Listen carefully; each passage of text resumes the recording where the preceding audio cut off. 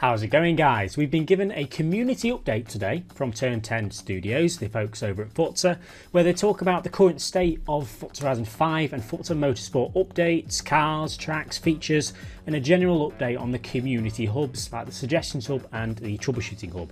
We're going to take a read through what they've got to say, as it does give us some potential hints about what we can see in the future, and just overall tells us what they're thinking and what to expect. It's very interesting to read. Now, really quick, this is the last chance to enter a giveaway for all of these car pack codes on the screen. In the comment section below, comment which one you want, make sure you're subscribed, and tell me your gamer tag. I've got all these codes to give away. This is the last video giving away these codes, and then that's it, they're gone.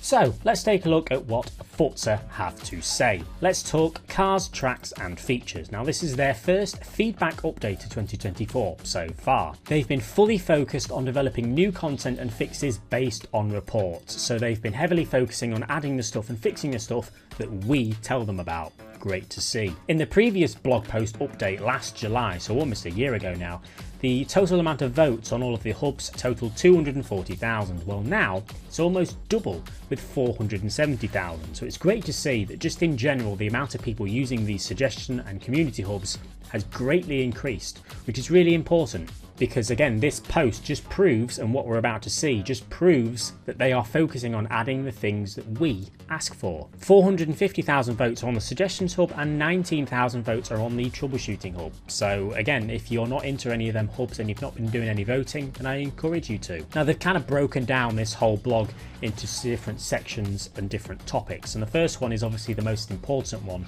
car voting.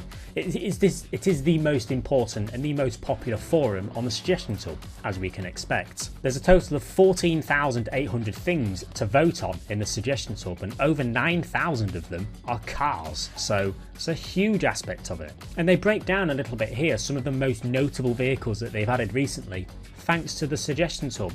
The Nissan Tsuru was the top voted car, the Aston Martin Valkyrie was the 16th most requested, the Gordon Murray, the Alfa Romeo, they were all highly requested cars and they've actually added them. Now there, actually, there are actually a lot more than this, which I'm surprised they've not noted. We actually did a video last week talking about the top 20 most voted cars on the suggestions hub because it just changes so quickly over time and they add so many cars that are in that top 20 list that it just changes. So I highly recommend going to check out that video if you haven't already. Now they do reiterate something very important, which again I'm glad that they've said, is that just because something isn't voted for highly on the suggestion tool doesn't mean we'll ever get it because the community input, our input, is just one aspect of them adding cars to the game.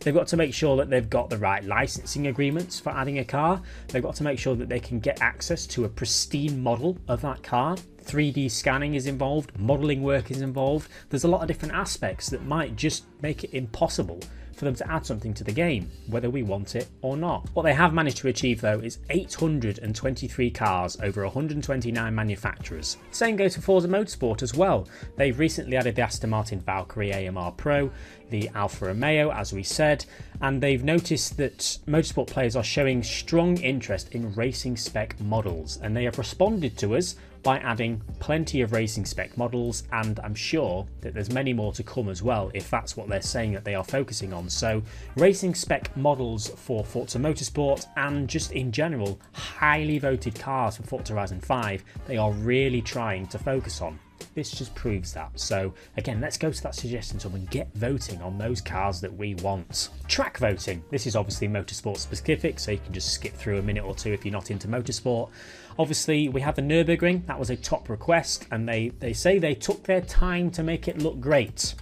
It came out earlier than expected. And they note that Daytona was the seventh most requested car when it was released in January. And following that edition, we were very vocal about our opinions on the pit lane exit. And with how quick we were able to make that the number one topic in the environment category, what did they do? They fixed it. So that just goes to show if we really are so vocal and so keen on something being changed, they will do it they will literally go and do it. Might take a couple of updates, but they'll do it. That's just why it's so important to go onto these hubs and make these votes known. Now, they do name drop Brazil here. They say that the current top requested track is the iconic Interlagos circuit in Brazil with only 1,750 votes, which is a lot of votes. Now, it's quite interesting that they've name dropped this track. Perhaps they are working on it, perhaps this is a little hint.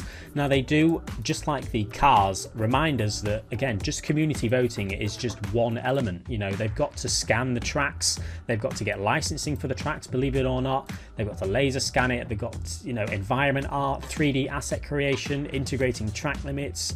AI driving lines. It's a nice insight to the work that goes on behind the scenes, and sometimes they either can't do it or it's just taking longer than usual. Horizon features, that's what most of you are here for, I can imagine. Now, they note that we all really, really wanted more garage space, more space for user generated content like designs and tunes. Well, they remind us that they saw that this was, oh, didn't mean to open that. Four, oh I was just on the page. How is it 404 page not found? They note that they noticed that it was a top five request feature for um, increasing the amount of tunes and save slots.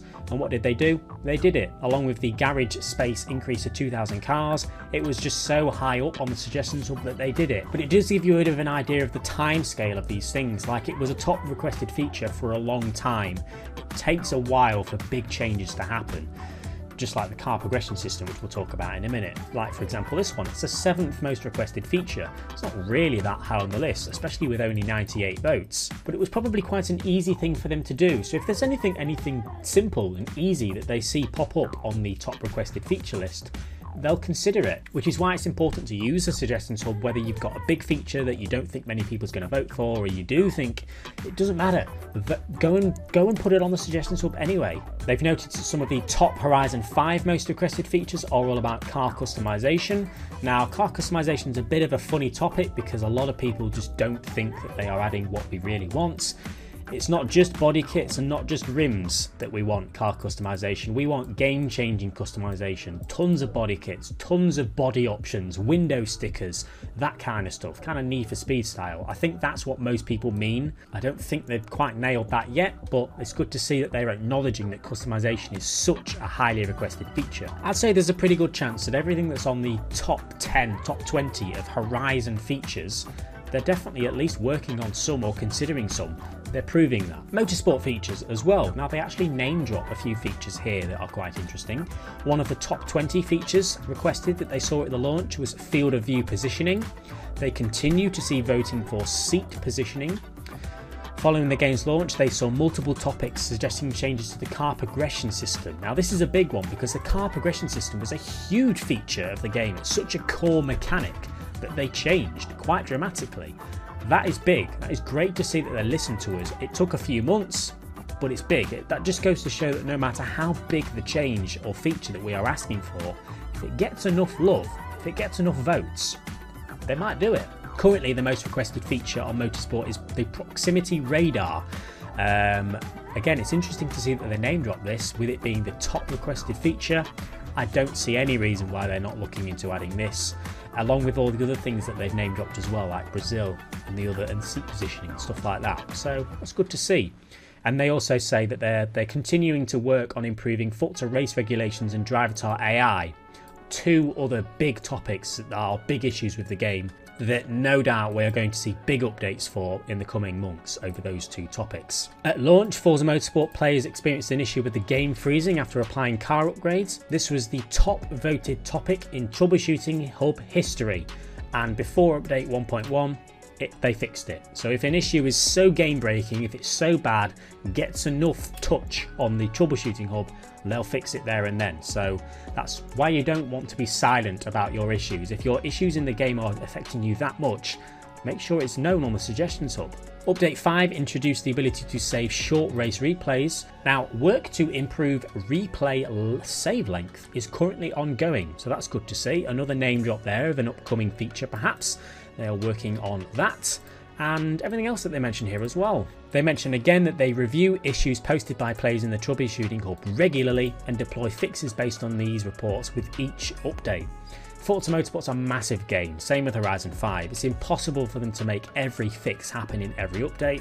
I will stand by the argument and agree with you that the game should not have that many issues to begin with. I agree, but it is what it is. We, we actually had an update 6.1 hotfix this week to deploy in, uh, to deploy a fix to address HDR flickering for PC and Xbox players. So it, it, just shows you that the community hubs, suggestion and troubleshooting hubs are very, very important places. It is obviously where they go to get the best ideas, the best features, and where they focus on prioritizing issues with the game as well. Be sure to upvote any issues that you are also encountering in our games and cast your votes on cars, tracks, and features that you would like to see.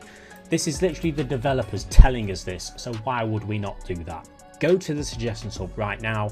I'll have the links in the description below. It's great to see this. Hopefully, this is a good sign for things to come. What this does tell me about not only motorsport but especially Horizon 5, there's many more updates to come. They're obviously still actively looking at the suggestions hub for Horizon 5 and looking for new features, for new cars. They're still doing that. That tells me there's a lot more life left in Forza Horizon 5 than we initially thought, with Horizon 6 being predicted for next year. I don't know if that's true or not, but if it is, it is. If it isn't, it isn't. But whether or not that's true, Horizon 5's got a lot of life left. So let's make the most of these community hubs that they have kindly designed for us.